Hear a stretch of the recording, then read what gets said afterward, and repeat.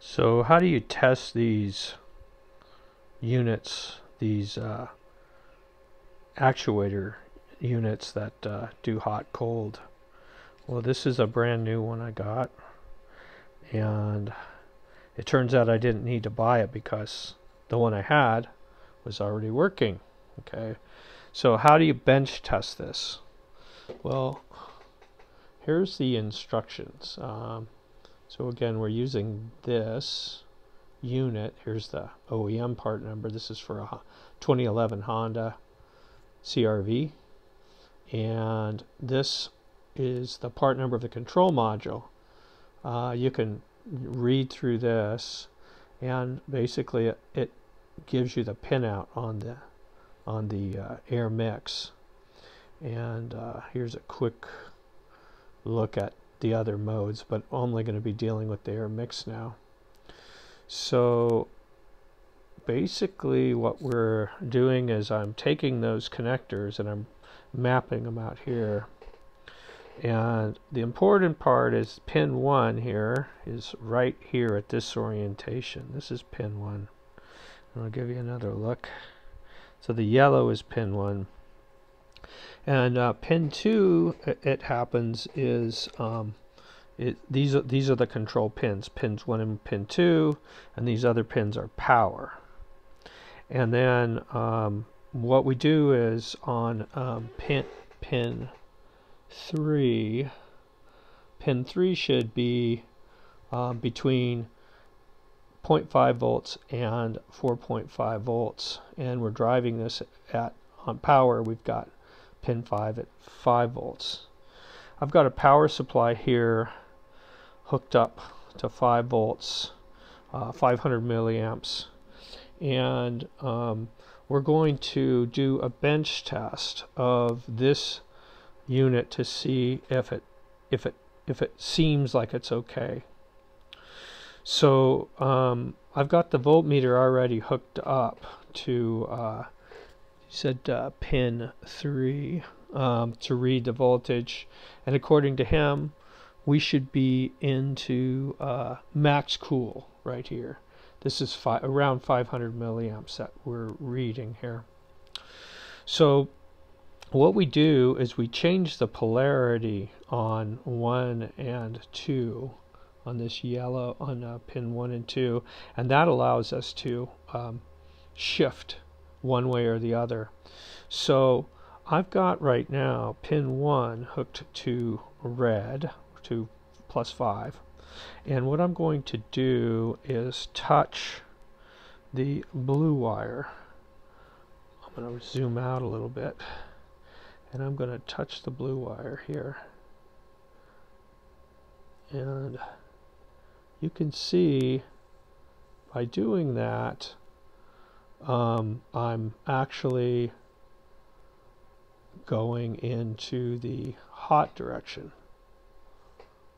So that goes hot. And so I'm going to drive that all the way up to 5 volts.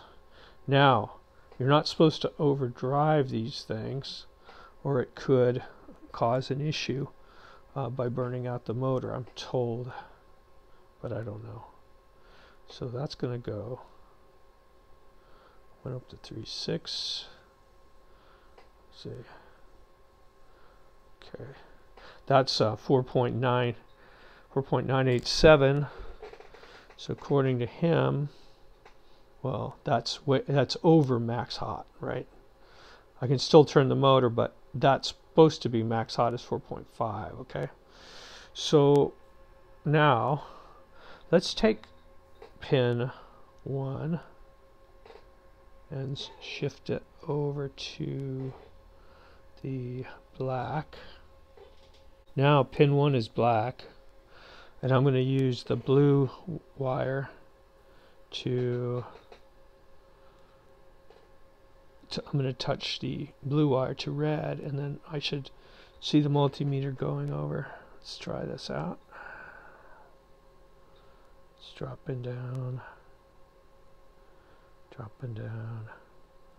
We should get to 500 milliamps and then or 500 millivolts and then okay. See I, I overshot it.